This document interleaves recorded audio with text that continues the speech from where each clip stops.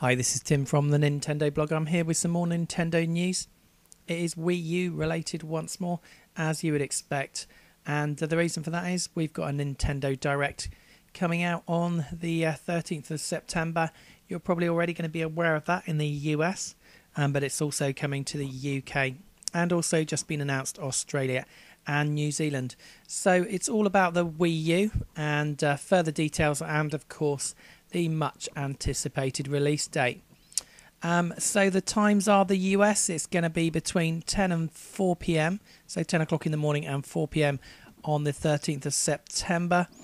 UK, it will be 3 pm in the afternoon. And Australia and New Zealand, unfortunately, it's going to be a late one for you. It's going to be at midnight.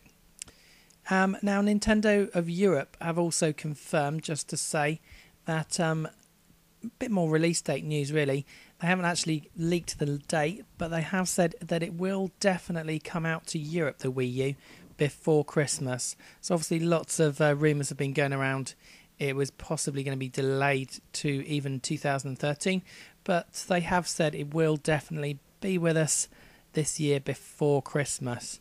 No confirmation, of course, of the date because we're going to get that on the 13th.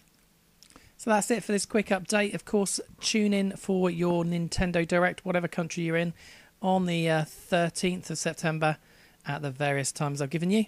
And uh, you should get more news on the uh, Wii U console itself. You'll also get the final version of the Wii U, so you'll get to see what it looks like. And of course, you'll get that all important release date. So, this has been Tim at the Nintendo Blogger. Thanks for watching.